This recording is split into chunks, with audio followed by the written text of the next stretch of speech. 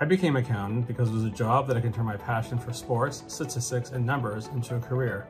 At Crowe Soberman, I love the people I get to work with every day. Accounting is more than numbers. It's about people working together to get to the numbers that reflect the situation in hand. It's like putting a puzzle together, and that's why I love being an accountant. At Crowe Soberman, every day is new and exciting. The skills you learn as a CPA are so transferable.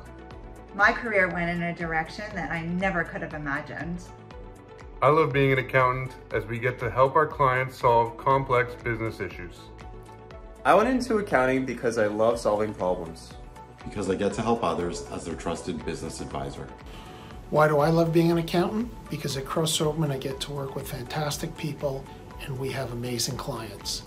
I love accounting because the profession itself is very versatile. You get to develop many skills which can be applied towards business or personal endeavors such as volunteer work. Most importantly, at Crowe Soberman, there is a vast list of clientele which allows you to find your niche and stick with it.